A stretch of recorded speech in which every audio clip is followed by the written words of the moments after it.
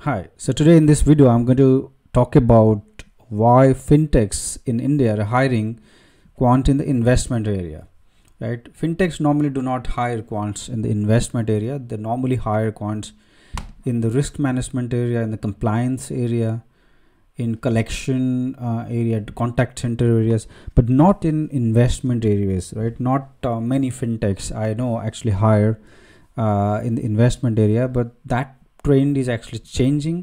Uh, i've come across so many uh, vacancies in fintechs in the investment area. Recently i came across a couple of vacancies in PhonePe in india. PhonePe is uh, a, a, company that is uh, owned by flipkart which is again owned by uh, walmart.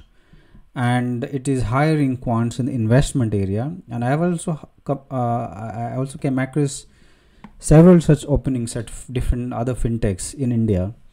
And I was curious to know as to why that is happening. And often talking to uh, a former colleague of mine who is heading uh, a department in one of the leading fintech in India, uh, what he told me was that uh, these fintechs are moving into the wealth management area quite big time, and hence they are they're hiring quants in the investment area.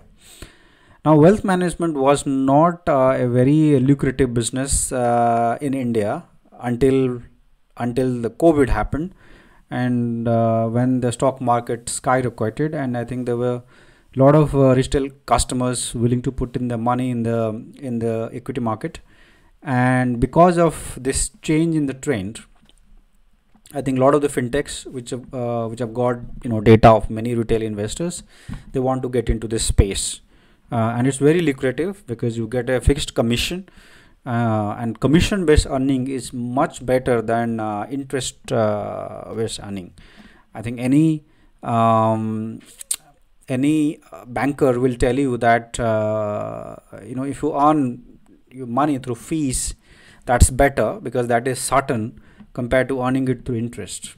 Because when you earn through interest right you lend money there is a risk involved and there is uh, always uh, uncertainty uh, with regards to changes happening in the interest rate.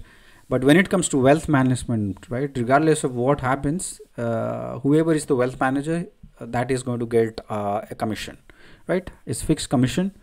You also have sometimes variable commission but there is always a fixed commission right? So that's a very lucrative business and especially in a country like india where many new investors are coming into the equity market i think it's one of the finest time to start a wealth management uh, business.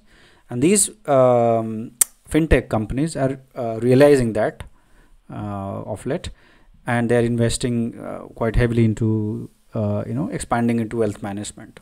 And the good thing is that they do have the data right? Uh, of many customers. So they understand the spending pattern who is having uh, how much of income all that information is with these fintech companies right? And uh, yeah they do have access to all kinds of uh, amazing uh, wonderful information. In fact they have more information compared to the traditional banks but in many ways i would say.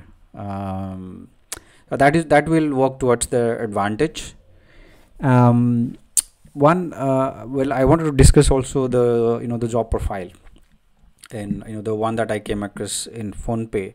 Now these are role role profiles which are you know quant uh, job role uh, profiles actually, but they don't expect you to have experience in uh, in in quant finance.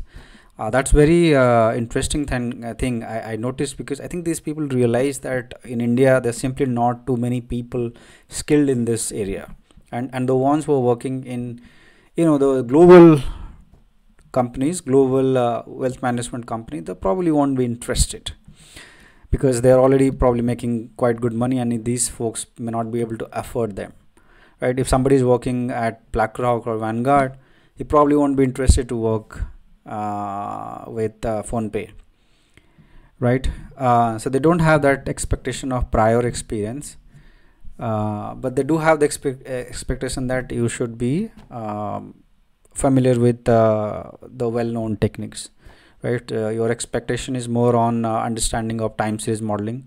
You should be able to do security analysis. So understanding of uh, finance is very important corporate finance in particular. Understanding of some accounting you know understanding of financial ratios and how you should interpret them. Understanding of macroeconomics risk management um, but also data research right? Just um, you know um, doing data analytics work right? Purely finding patterns and anomalies in the data uh, it's very important. So it's very uh, interesting role i feel. Um, and um, yeah it it's uh, it, it's uh, it's a job profile where you will not be expected to have understanding of derivatives and how they work you may not uh, understand the different uh, financial products such as you know all the hedging products but um, um, yeah they're more mostly into equity. So as long as you understand equities i think most people who do some trading have some understanding of equities. I think that should be fine. So no they don't expect you be a finance expert. But if you're an analytical person if you have already some experience with data science you worked as a quant in any area need not be in investment area but even in banking lending area also there's quite uh, okay with that. And um, and it's not PhonePe that is hiring. I think CRED this company called CRED in uh, in mumbai i think even they are into uh, wealth management more recently. I think paytm as well. I think some other uh, fintech firms are also um, getting into wealth management space so if you are someone who is looking to get into quant profile in investment area i think uh, go through you know these uh, job profiles and probably will be interested. And that's also a, one easy way to get into uh, quant finance uh, in the investment space. Because if you really want to work for blackrock as a quant or a Beco or these big firms it's not that easy right? Because they get uh, cvs from thousands and thousands highly qualified people. But for these companies right PhonePe and these they probably don't get that many cvs right? So it's the entry barrier is low. And once you get experience there a couple of years of experience then you can move to more global uh, asset management firms. Uh, so wonderful opportunities in my view.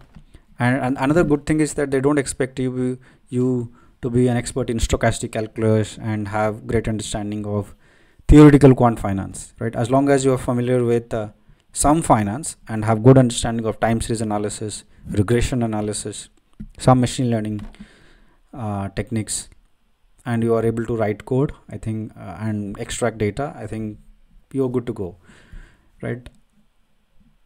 Traditional quant finance company asset finance uh, company will expect more from you right? But these company don't. Uh, probably they will be hiring some people to train you uh, so yeah. If you are interested i think have a look at these profiles and i think many of them are advertised uh, on linkedin but you can also find them on other places. Any question as always let me know in the comment section guys. Thanks